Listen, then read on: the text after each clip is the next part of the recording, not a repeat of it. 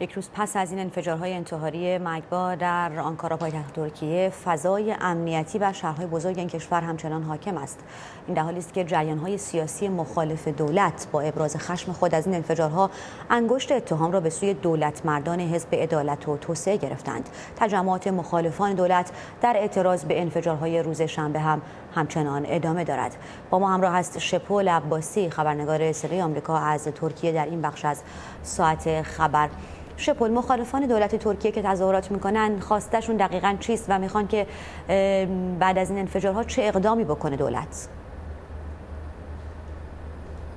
فهیم همونطور که اشاره کردی فضای شهرهای ترکیه کاملا امنیتی است. پلیس در همه جا حضور داره.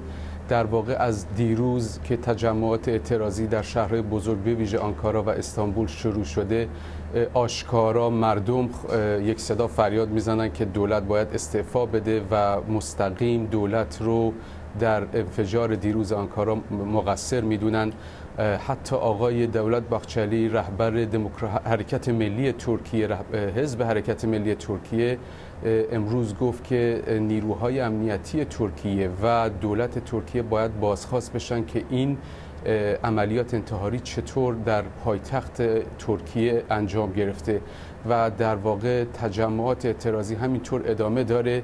حتی امروز در برخی از نقاط کردنشین استانبول در برخی از منطقه ها درگیری بین هواداران حزب دموکراتیک خلق ها و نیروهای پلیس گزارش شد.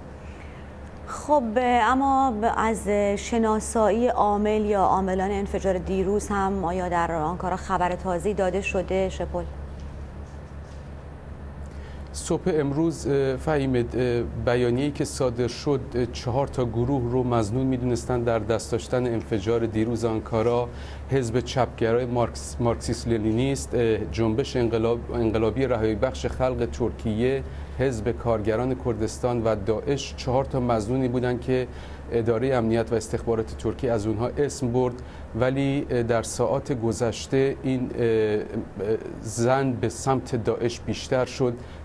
دو تئوری مطرح کردن یکی این که استخبارات ترکیه هفته گذشته گزارشی داده بود که از ورود یک زن و یک مرد از عراق به داخل ترکیه گزارش داده بودند و گفته بودند که احتمال انفجار هست و حرکت انتحاری هست و تئوری دوم این که برادر مزنون انتحاری در شهر سروش که از چند ماه گذشته متواری شده تئوری دوم برای مزنون مزنون بودن در انفجار انتحاری یه دیروز آنکاراست ولی هنوز نیروهای استخبارات و امنیت ترکیه مشخصا این رو نگفتن و حزب کارگران کردستان در واقع از لیست مزنونین تقریبا حذف شده.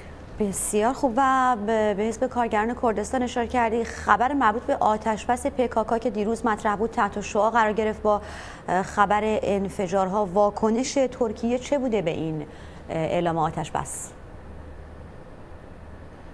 فهیم دیروز قبل از قبل از انفجار تقریبا چند ساعت قبل از انفجار پکاکا در فرات نیوز در وبسایت رسمیشون اعلام کرد که ما به صورت یک جانبه اعلام آتش بس می‌کنیم در راستای صلح و دموکراسی ترکیه و در راستای کمک به حزب دموکراتیک خلقها حزب نزدیک به کردها و حملات رو در داخل شهرهای ترکیه متوقف می‌کنیم به شرطی که به ما حمله نشه.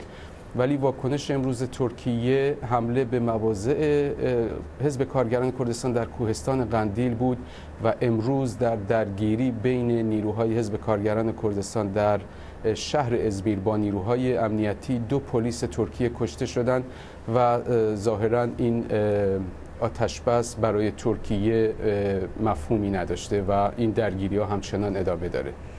شپول عباسی خبرنگار صدای آمریکا در ترکیه سپاسگزارم.